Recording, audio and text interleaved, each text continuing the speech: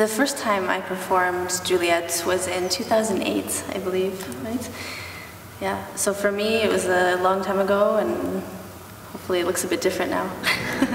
I think when people think of Romeo and Juliet in ballet, they expect to see swords, they expect to see potion, and this production doesn't have that. It creates drama with, without those. Yeah, it's really stripped down. Yeah. Stripped down, bare bones.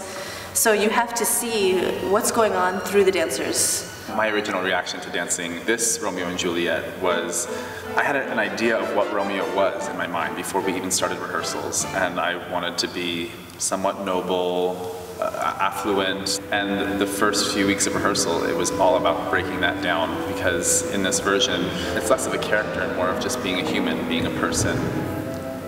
At first I thought, oh, I can do this, it's quite easy. But then a lot of it was about the intention that you're trying to put across to the audience.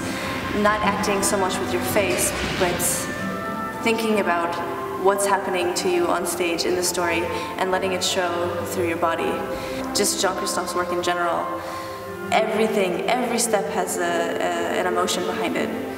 And it's you have to like break yourself of acting on stage. You actually just have to live it. There's a difference between just go ahead, offer your hand to me. There's a difference between this and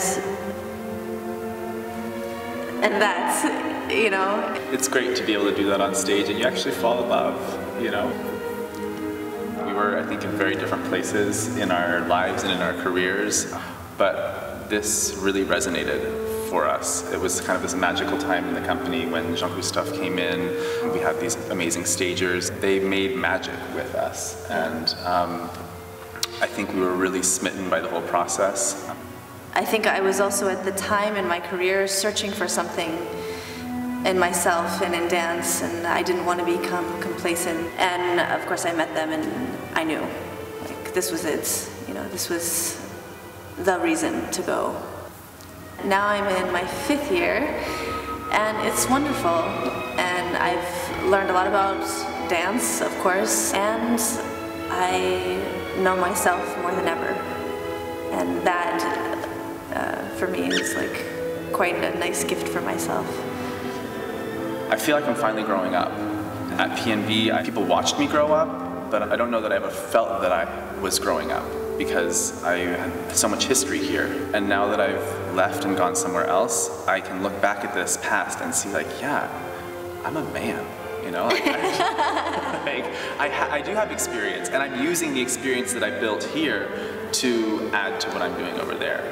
It's been such a pleasure to to have him like be my Romeo again, to share this a similar life experience. It's very cool. I feel really lucky that we get to come back and dance yeah. in Seattle. It's you really, know, like really special. It's awesome. we made our careers here, you know. So, and I don't think many people have the opportunity to come back home and dance something. Yeah, it's, it's so really, nice. It's a blessing. Yeah, it's really a blessing. Yeah.